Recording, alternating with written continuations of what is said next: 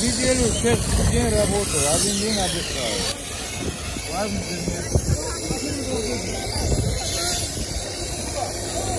Во вторник не работал, а остальные дни работал.